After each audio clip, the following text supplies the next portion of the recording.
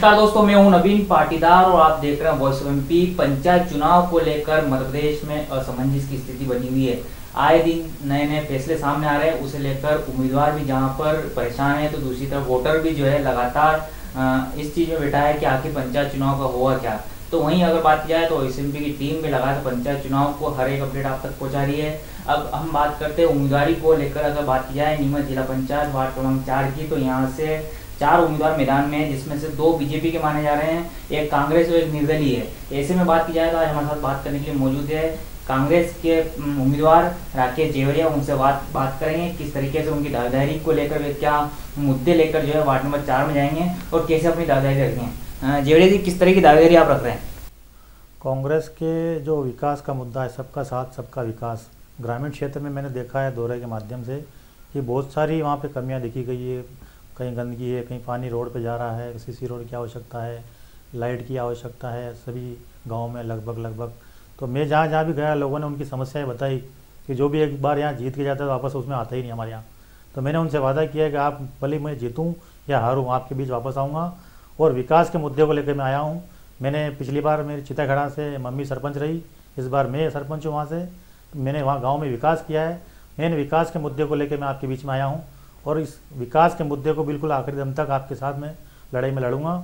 और जिला पंचायत सदस्य आप अगर मुझे बनाते हैं तो मैं आपकी हर समस्या का अधिक से अधिक समस्या का समाधान करने का भरसक प्रयास करूँगा। जेड़े जी अगर बात की जाए तो आपके महत्वपूर्ण मुद्दे क्या रहेंगे? क्या आपके जो है आपकी घोषणा पत्र से आपकी तरफ़ से रखे गए? बेसिक मुद्दा मेरा रहेगा जिला पंचायत के माध्यम से बहुत सारी युवाओं को रोज़गार देने की रीति योजनाएँ चलती है शासन द्वारा। मैं उन योजनाओं के माध्यम से उनको रोज़गार उपलब्ध कराने का भरसक प्रयास करूँगा छोटे छोटे लघु उद्योग लगाने का प्रयास करूँगा उनको व्यापार व्यवसाय से जोड़ने का मैं उनको करूँगा सुविधा प्रदान कर प्रदान करूँगा। जिला जी अगर बात की जाए पंचायत की बात की जाए जिला पंचायत से कई योजनाएँ निकलती गाँव के लिए हम्म। लेकिन वे जो है ज़मीन तक नहीं पहुँच पाती। तो क्या आप इस पर भी फोकस देंगे? बिल्कुल पूरा ज़ोर मेरा ये रहेगा कि मैं गाँव तक उस योजना को लागू करने का पूरा पूरा मेरा प्रयास रहेगा। जो भी योजना है शासन की। जेवड़ी जी अगर बात की जाए तो भारतीय जनता पार्टी से दो उम्मीदवार आपके सामने हैं धन सिंह केतवास और मेघवाल जी। हाँ। तो क्या मानते हैं आपके सामने वो चुनौती है या नहीं है? बराबर चुनौती हर इंसान अपने आप में एक रहता है पावरफुल मैं ये नहीं कहता हूँ कि वो कैसे क्या है बाकी मैं मेरे आदमी अपने आप को कमज़ोर महसूस करते हुए पूरे संघर्ष के साथ दमदारी के साथ चुनाव में उतरा हूँ और चुनाव जीतने का पूरा प्रयास करूँगा मैं चुनाव जीतूँगा।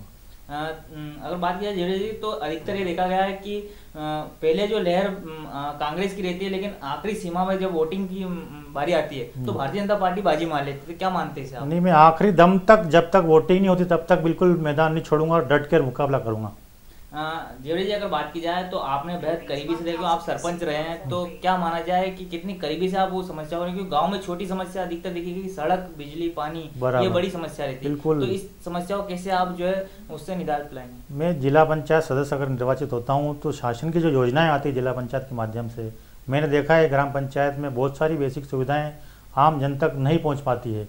कहीं न कहीं वो अधर में अटक जाती है या तेरा मेरा उसके चक्कर से नहीं हो पाती है। मैं बीजेपी कांग्रेस से हट के बिल्कुल हर गाँव पंचायत में, जिला पंचायत के माध्यम से वहाँ विकास करने का पूरी पूरी कोशिश करूँगा। सीसी रोड हो, चाहे बिजली की समस्या हो, चाहे पानी की समस्या हो, चाहे साफ़ सफ़ाई की समस्या हो, या किसी के राशन कार्ड की समस्या हो, समग्र आईडी, बहुत सारे लोग भटकते हैं।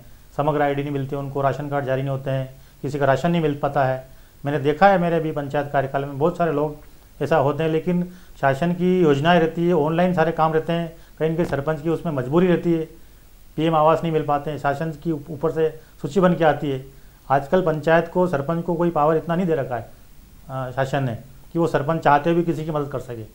तो मैं बरसक या जिला पंचायत के माध्यम से ऐसी कोशिश करूँगा कि आम जन तक गरीब आदमी तक वो सुविधा पहुँचे।